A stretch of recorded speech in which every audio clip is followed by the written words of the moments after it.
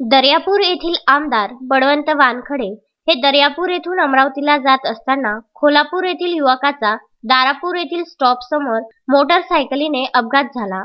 त्या दरम्यान आमदार यांनी क्षणाचाही विलंब न करता त्याला स्वतःच्या चारचाकी गाडीत टाकून अपघातग्रस्त युवकाला खोलापूर येथील खासगी रुग्णालयात दाखल केले आणि युवकावर लवकरात लवकर उपचार करण्यात यावा असे निर्देश दिले. आणि लगेचच उपचारास सुरुवात झाली.